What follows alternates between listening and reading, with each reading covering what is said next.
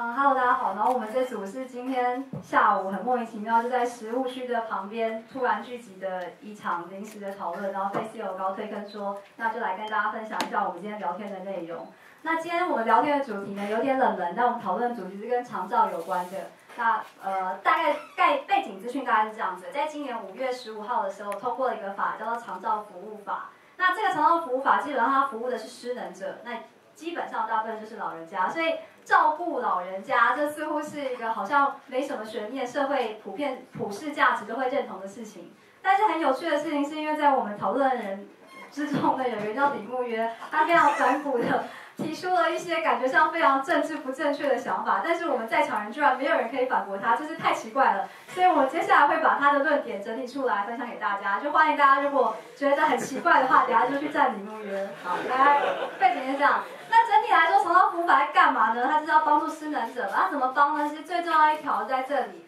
所以我们讨论重点是第十五条长照服务法说，哎，它总共要有一个长照基金，有一百二十亿。这一百二十亿就从现在什么公共预算啊，就政府这些预算来，然后最重要做的事情什么呢？就是做长照相关资源之发展，听起来都超级政治正确嘛，对不对？好，那林木月的论点是什么？为什么他觉得奇怪呢？他大概觉得四个地方很奇怪。第一个是基金用途，第二是基金的公平性，第三是基金法条的写法，第四个是最后他要给基金的建议，大概就是。然后我诠释不对，林木月就随时讲。然后基金用途的部分，他认为有三个。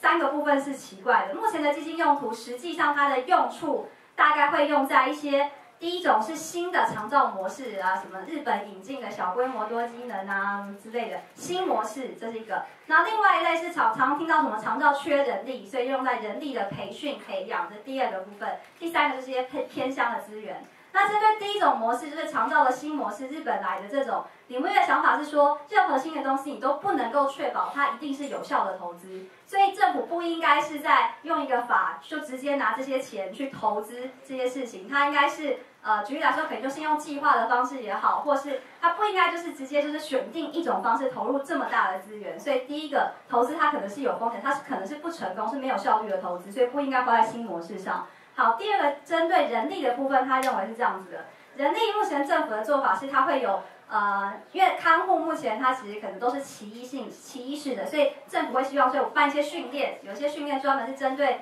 培训这些看护拥有失智症、照顾失智技巧、照顾末癌末病人的技巧等等等。那你会觉得这件事情有什么问题呢？这道理就有点像是说，政府有时候会出些钱让大家去拥有资讯的能力，去上巨匠电脑，但这种通常来说，它最后的效果好像不是很好，原因是因为。这些人力的问题或许不是用金钱可以解决，有可能它最后根源的原因是因为其实台湾人就是不想要做把屎把尿的照顾的工作，所以这些这人力的问题是用可以用用钱来解决吗？木月认为应该是没有办法。最后第三个是用在很政治正确的偏乡，那偏乡的部分，呃，木月就会说，呃，那这些人就搬到都市就好了，但他没钱怎么办呢？那就留在原地嘛，那留在原地就没有人进来，这时候怎么办？有一个我觉得我还蛮有说服我的观念，说偏不是让他们等死，而是如果资源没有进去，他们本来可能这个时间点他就是会就是会离开，所以钱钱如果没有进来的话，那只是他在他原本会死掉的时间点死掉，而没有延长他的寿命。那这件事情其实整体来讲有一个更深层的意涵，就是谈到第二部分基金的公平性。基金的公平是这样子的，老人家他基本上他其实。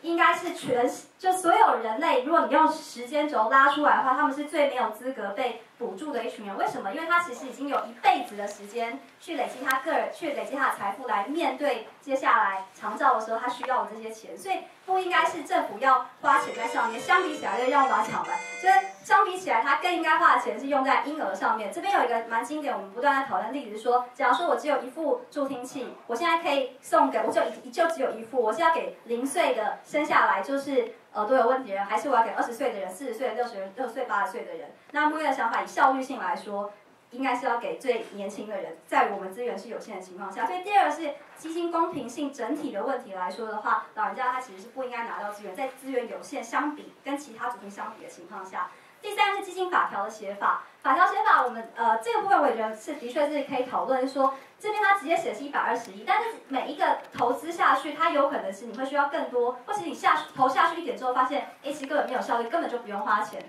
所以直接把金额明定在母法上面，这件事情或许也是值得讨论的。是第三个部分，最后第四个是给基金的建议，给基金的建议，第二层次就是最好就是不要花钱嘛。然后不要花钱的话，应该把钱是放在那些可以去。呃，现在阻挡了这个产业发展的一些呃奇怪的法规啊，应该在解释法规上，而不是什么事情都觉得用钱就可以直接来解决。然后另外一个是，如果真的要花钱的话，木月提一个 idea 是说，你应该是一百二十亿，你不要明定你要用在偏乡偏乡，都不用不用明定，而是你只要有人来申请，你就小额的给五十亿、五十亿、五十亿啊，五十五十万、五十五十万，然后让很多